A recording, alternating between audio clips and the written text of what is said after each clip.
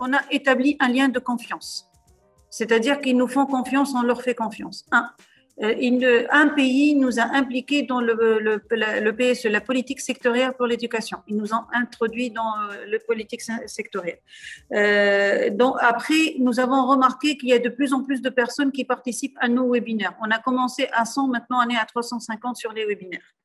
Et puis, ils partagent. Avant, ils étaient silencieux dans les réunions. Maintenant, ils parlent, ils prennent la parole, ils partagent leur expérience.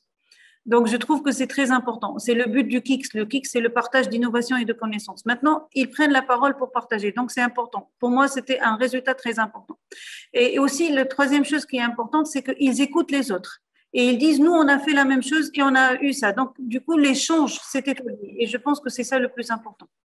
En termes de résultats, c'est que j'ai des éléments à ramasser ça et là à travers les exposés. J'ai des expériences développés par mes collègues pour justement les prendre et voir comment les intégrer dans la réalité du système éducatif burundais. There are a relevant number of members taking the lead in sharing their experience, uh, their experience, evidence, knowledge, and making their learnings available to other members.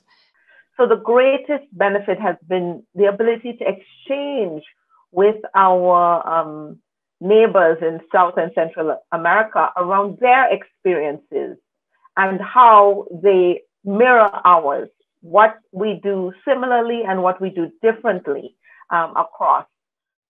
We've had some really positive uh, feedback indicating that the workshops have been adding value to their thinking and to some of their, their practices, such as, for example, um, after the, the workshops we've just been having the last couple of weeks regarding teaching and learning, several of the members have left uh, saying that the work was valuable and was interesting for them, and they've been learning a lot, and that they're going to have meetings uh, to talk about uh, some of the policies and some of their curriculum.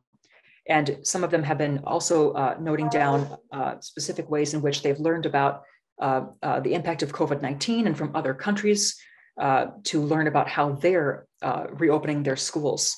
They seem to really appreciate learning from each other almost as much or more so than, than um, uh, taking part with conversations with experts.